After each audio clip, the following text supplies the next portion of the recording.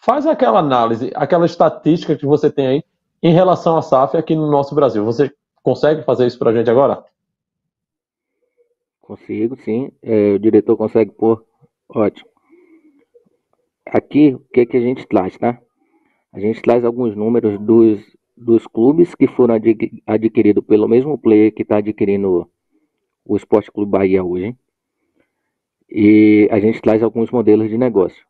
Que você vê no quadrinho ali com os números pintados de vermelho a verde são as posições por ano da introdução do clube. Três anos antes do clube adquirir o, o projeto e os anos subsequentes.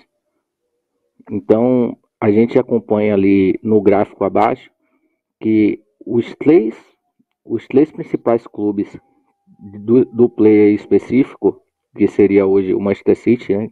não é segredo para ninguém. É, eles caminham dentro do primeiro trabalho, do primeiro, do primeiro ano de trabalho, já numa linha de crescimento. E os principais clubes eles ficam entre os seis e, e sempre brigando ali por, por títulos e mesmo com investimentos menores do que será feito hoje dentro do futebol brasileiro. Então, é, o case dentro, dentro do, do, do player é que os clubes quase nunca vão chegar próximo do Z4. Então, a análise de risco é praticamente zero em questões de desempenho dentro dos campeonatos nacionais, os principais campeonatos nacionais das equipes que eles adquiriram.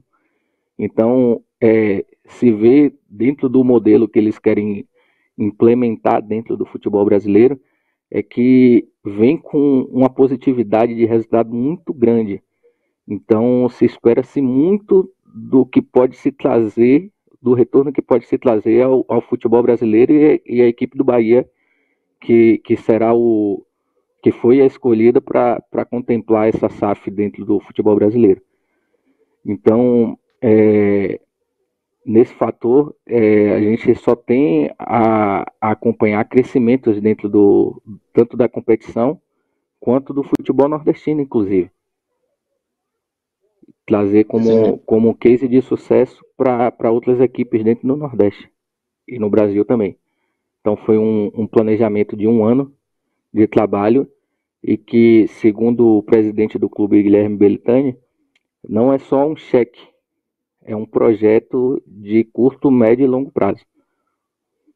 Então, é um projeto que vem com uma expectativa muito grande. Agora a gente está comentando esse fato aqui, já pode ter saído algum algum dado, algum formato de negócio já, porque está havendo uma reunião com os conselheiros agora nesse exato momento. É, então, eu vejo uma, uma, perspectiva muito positiva nesse processo. Vocês conseguiram acompanhar direitinho a análise? Sim, sim. É, muito boa análise. Maxon, muito bom. Por gentileza, é, discute esse assunto um pouco aí, do que tu achou dessa análise do Janderson, porque tem propriedade, né? O Janderson é um analista e, e tem propriedade para falar do assunto e está agregando bastante aqui. Fala para gente, Max, qual é a tua opinião em relação a isso? Se o diretor puder colocar novamente, por gentileza, a análise que, que o Janderson trouxe para nós, só para a gente observar um ponto bem interessante, tá? Olha só, deixa eu. A gente observa ali, ó, que na o último time que foi inserido no ASAF, já se eu estiver enganado, por favor, me corrija, tá? A gente observa ali que tem o New York City, dos Estados Unidos, né? E abaixo dele tem vários times que já vêm em ascensão, tá? Então a gente observa que o cenário, antes da inclusão da SAF, desses clubes, eram cenários degradantes. Então, clubes que chegavam em colocações até de próprio rebaixamento ali, como é o caso do Girona, da Espanha, né? De 23º, 24 a inclusão da SAF ele é um trabalho contínuo, é como o Jandes citou, né? A médio, curto e longo prazo. Eu sou muito suspeito de questionar uma, uma apresentação dessa do Jantos, porque eu conheço ele de longas datas, né? A gente já tem essa interação há muito tempo, a gente é conhecedor de futebol, a gente bate muito papo sobre resultados de primeira, segunda divisão, outras ligas. Então, é, o cenário que hoje a gente encontra de uma SAF é um cenário realmente de mudança de chave, tá? Literalmente a gente começa a deslumbrar um cenário onde os clubes brasileiros podem proporcionar tanto para a torcida como para si mesmo uma maior rentabilidade, né, se estabilizar no campeonato, como também começar a lutar por, por algo grande, como é o caso do Botafogo, agora na primeira divisão, né?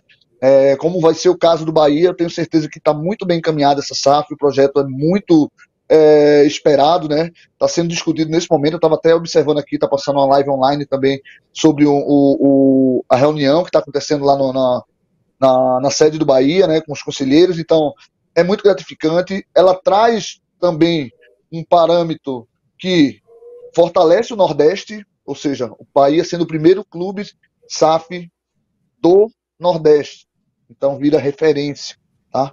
Vira referência para o esporte, vira referência para Fortaleza, Ceará, Santa Cruz, Vitória, entre outros grandes. Próprio Náutico, que está numa situação agora complicada, mas eu ainda acredito que pode sair dessa situação. Mas assim, isso é referência, tá? Ele Deixa eu só visto... te interromper, Maxon. Rapidinho. Já que tu falou em Náutico aí, é, já vou trazer uma notícia triste, né? É, 44 do segundo tempo. O Náutico acaba de levar o segundo gol. Né? Sampaio Correia fez o segundo gol. Mas termina o teu raciocínio, por favor. Só concluindo aqui, eu acho que é de extrema importância o Bahia se inovar, né? Entrar nessa nova era agora de SAF.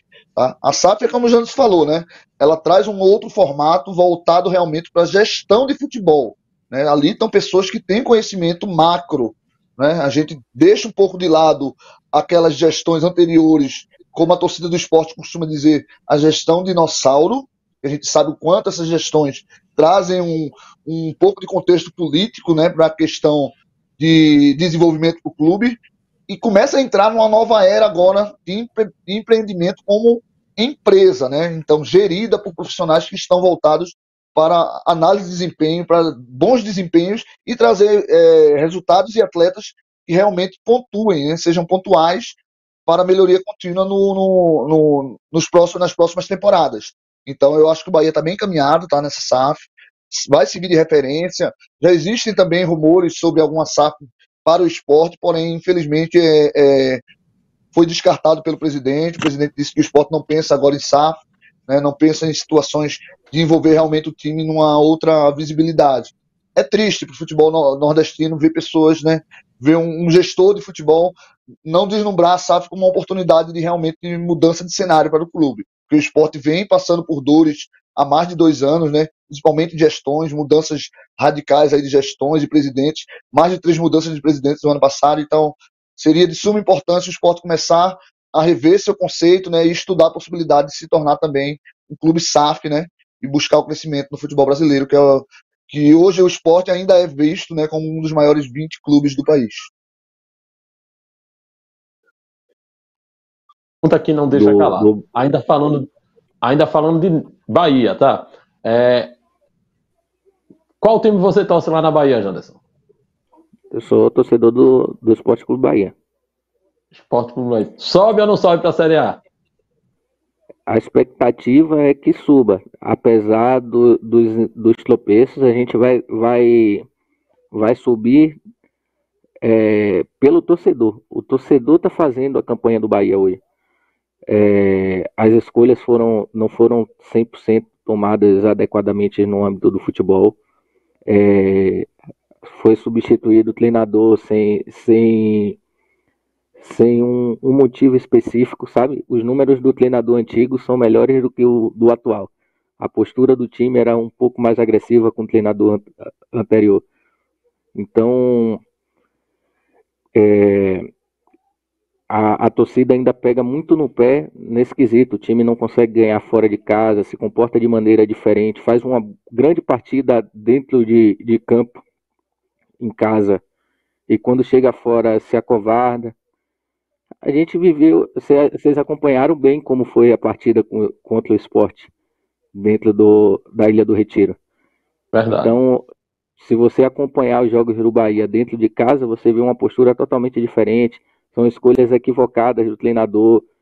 Um exemplo, a última partida agora, o treinador contra o esporte, o treinador poupou os jogadores tendo uma, uma janela de 12 dias para o próximo jogo. Verdade. Então, então não tinha não tinha coerência nas escolhas, entendeu? Então a torcida pega muito no pé e a torcida apoia, é, tem praticamente 40 mil ingressos vendidos para a partida de amanhã, fora sócios, então deve ser casa cheia amanhã. É, então o Bahia será, será, será um clube na Série A, mas eu acredito pelo, pelo desempenho dentro de casa e não pelo elenco que foi montado nas suas limitações, só que com poucas interferências do comando técnico. É, e pelo que